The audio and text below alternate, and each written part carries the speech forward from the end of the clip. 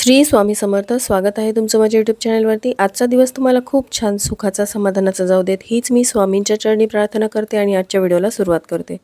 तर तीन जुलै दोन हजार तेवीस रोजी या वर्षीची गुरुपौर्णिमा आहे. या दिवशी गुरूंचे पूजन केले जाते. अज्ञानाचा अंधकार नाहीसा करून ज्ञानाच्या प्रकाशाच्या वाटेकडे घेऊन जातात ते गुरु असतात. असे आपल्याला मार्ग दाखवणारे गुरु आपल्या प्रत्येकाच्या आयुष्यात असायलाच हवे. स्वामी भक्तांसाठी तर गुरुपौर्णिमा ही एक पर्वणीच आहे. तुम्ही स्वामींनाच गुरु करावं असं नाही तर तुम्ही ज्या व्यक्तीला आदर्श मानता त्या व्यक्तीला तुम्ही गुरुपौर्णिमेच्या दिवशी गुरुपद देऊ शकता. तर आजच्या या व्हिडिओमध्ये स्वामींना गुरुपद कसं द्यायचं आहे कोणता मंत्र म्हणायचा आहे आणि त्याचबरोबर घरच्या घरी जर तुम्ही स्वामींना गुरुपद देणार असाल तर त्याची पूजाविधी कशी आहे हे शेअर करणार आहे. त्यामुळे व्हिडिओ स्किप न करता शेवटपर्यंत बघत राहा. गुरुर्ब्रह्मा गुरुर्विष्णू गुरुर्देव महेश्वरः गुरुर साक्षात परब्रह्म तस्मै श्री गुरुवे नमः. तर तीन जुलै दोन हजार तेवीस रोजी गुरुपौर्णिमा आहे. या दिवशी आपल्याला स्वामींना गुरुपद द्यायचं आहे. दरवर्षीच गुरुपौर्णिमेला तुम्हाला स्वामींना गुरुपद द्यावं लागतं आणि वर्षभर त्यांनी सांगितलेल्या मार्गावरती आपल्याला सेवा करायची असते. आता स्वामींना गुरु कसं करावं? तर स्वामींना गुरु करण्यासाठी तुम्ही जवळच असलेल्या श्री स्वामी समर्थ केंद्रामध्ये जाऊन महाराजांना तुम्ही गुरु बनवू शकता. आता अगदीच तुमचं घर लांब असेल आणि तुम्हाला केंद्रामध्ये जाऊन महाराजांना गुरु करणं शक्य नसेल तर अशा वेळेस तुम्ही घरच्या घरीसुद्धा स्वामींना गुरुपद देऊ शकता. स्वामींना गुरुपद देण्यासाठी तुमच्या देवाऱ्यामध्ये स्वामींचा फोटो किंवा मूर्ती असणं आवश्यक आहे. आणि जर तुम्ही नवीन स्वामी सेवेकरी असाल तर तुमच्या घर देवाऱ्यामध्ये महाराजांचा फोटो नसेल तर गुरुपौर्णिमेच्या दिवशी तुम्ही महाराजांचा फोटो किंवा मूर्तीची स्थापना देवघरामध्ये अवश्य करा. महाराजांना घरच्या घरी तुम्हाला गुरुपद द्यायचं असेल तर देवाऱ्यासमोर बसून पण तुम्ही महाराजांना गुरुपद देऊ शकता किंवा तुम्ही त्यासाठी वेगळी मांडणीसुद्धा करू शकता. तर जिथे तुम्हाला मांडणी करायची आहे ती जागा स्वच्छ करून घ्या. तिथे एक चौरंग मांडा त्यावरती एक कपडा अंथरा आणि त्यावरती तुम्हाला महाराजांचा फोटो किंवा मूर्ती ठेवायची आहे. त्यानंतर एका पानावरती सुपारीची स्थापना गणपतीच्या स्वरूपात करायची. एक समयी तुम्हाला लावायची आहे. धूप लावून घ्यायचं आहे. आता मूर्ती महाराजांची तुमच्याकडे असेल तर मूर्तीला तुम्हाला अभिषेक करायचा आहे. पाण्याने पंचामृताने आणि परत पाण्याने सगळ्यात आधी गणपतीला अभिवादन करून तुम्हाला महाराजांच्या मूर्तीवरती अभिषेकाला सुरुवात करायची आहे. अभिषेक करत असताना श्री स्वामी समर्थ श्री स्वामी समर्थ या षडाक्षरी मंत्राचा जप करत हा अभिषेक करायचा आहे. त्यानंतर महाराजांच्या मूर्तीला स्वच्छ पुसून घ्यायचं आहे.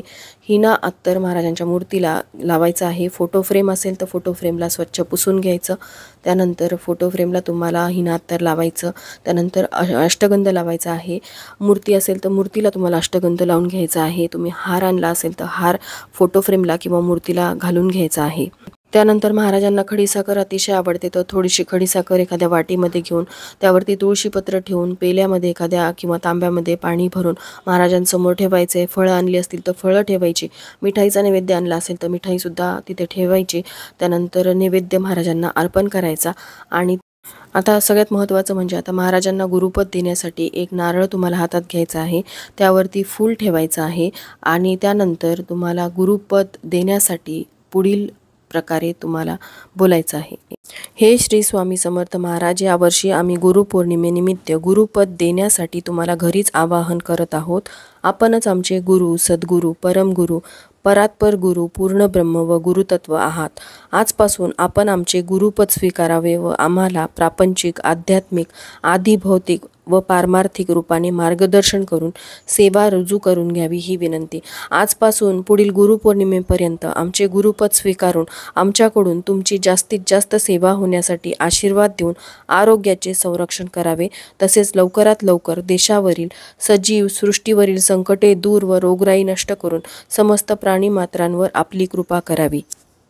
अशा प्रकारे तुम्ही महाराजांना गुरुपद देऊ शकता. आता हे जे काही वाक्य मी बोललेले आहेत असेच बोलावेत असं काही नाही. तर तुमच्या अंतःकरणातून जे वाक्य तुम्हाला बोलता येतील ते तुम्ही महाराजांसमोर बोलू शकता. तर असे बोलून आपल्याला नारळ महाराजांसमोर ठेवायचे आहे आणि अभिषेक केलेलं तीर्थ घरातील सर्वांनी प्राशन करत असताना एक मंत्र आपल्याला म्हणायचा आहे. तर हा मंत्र तुम्हाला स्क्रीनवरती दिसत असेल. अकाल मृत्यू हरणम सर्व व्याधी विनाशनम सद्गुरू श्रीपाद श्री वल्लभ श्री नरसिंह सरस्वती श्री गुरुदेव दत्त परब्रह्म भगवान श्री स्वामी समर्थ महाराज. पादोदकम तीर्थ जठरे धारयाम्यहम शिरसा धारयाम्यहम तर अशा प्रकारे आपण महाराजांना गुरुपद दिल्यानंतर आपल्याला एक संकल्प करायचा आहे. गुरुपौर्णिमेच्या दिवशी गुरु पुढच्या गुरुपौर्णिमेपर्यंत हा संकल्प करायचा आहे. त्यासाठी तुम्हाला एक तामण घ्यायचं आहे. हातामध्ये फूल अक्षता त्यावरती हळदी कुंकू वाहून घ्यायचं. पळीभर पाणी त्यावरती ओतायचं आणि संकल्प करायचा आहे की श्री स्वामी समर्थ महाराज मी तुमच्या श्री स्वामी चरित्र सारामृत या पोथीमधील रोज तीन अध्याय नित्य नियमाने वाचेल. त्यानंतर रोज मी अकरा माळी जप करेल आणि अकरा वेळा तारक मंत्र म्हणेल. ही सेवा मी रोज तुमच्या चरणी अर्पण करेल. त्याचबरोबर सकाळ संध्याकाळ मी महाराज तुमची आरतीसुद्धा करेल. तर अशा प्रकारे संकल्प करून पाणी आपल्याला तामणामध्ये सोडायचं आहे. तर संकल्प केल्यामुळे आपण नित्यनियमाने महाराजांची नित्यसेवा करणार आहोत. पुढच्या गुरुपौर्णिमेपर्यंत. पुढच्या गुरुपौर्णिमेला सुद्धा सु तुम्हाला अशाच प्रकारे स्वामींना गुरुपद द्यायचं असतं.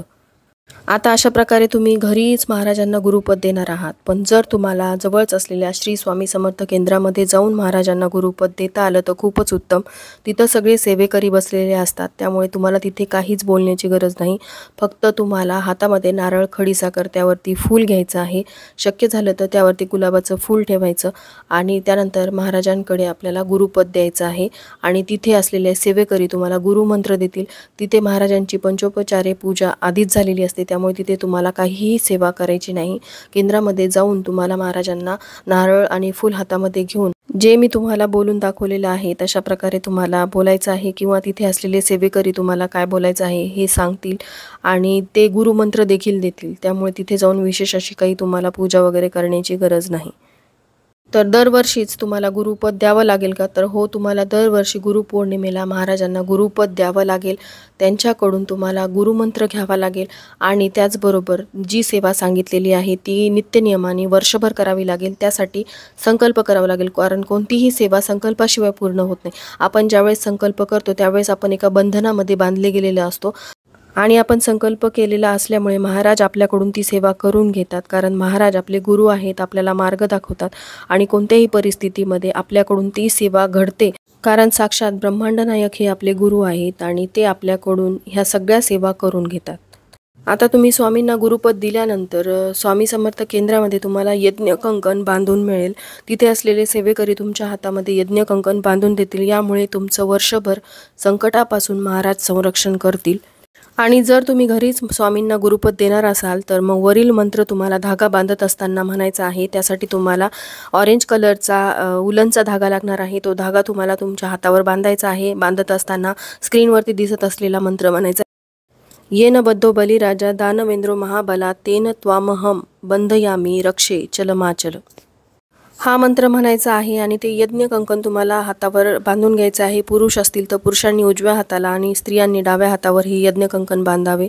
हा धागा तुम्हाला केंद्रामध्ये मिळून जाईल. घरी आल्यावर हा मंत्र म्हणून तुम्ही हा धागा हातावरती बांधू शकता.